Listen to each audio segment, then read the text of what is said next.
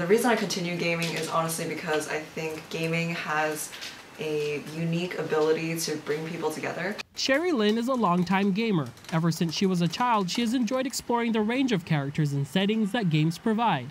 There's so much to know about every game universe that you can connect with someone that also games like on such a deep level, even if you just met them. As a member of the recently established Cal Women in Gaming, she's also focused on unlocking levels of participation for women to compete, pursue a career, and participate in gaming.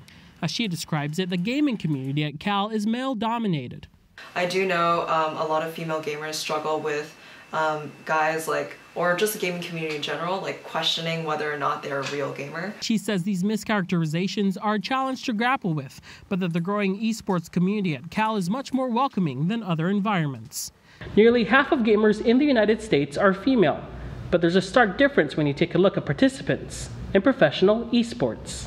Kevin Pond works full time as a Cal Esports program manager under the Division of Student Affairs. The position is one of the first of its kind on a college campus. With regards to better gender representation, he says there is a growing push for a more inclusive culture. Because esports tries so hard to emulate traditional sports, part of that emulation is this masculinizing effect of you know people in a competitive environment. Through programs like Cal Women in Gaming, increased outreach, and better representation, there is hope to redefine what it means to be a student athlete and gamer. A lot of women feel like they have to conceal their identity as women. They're not on the microphone when they're playing.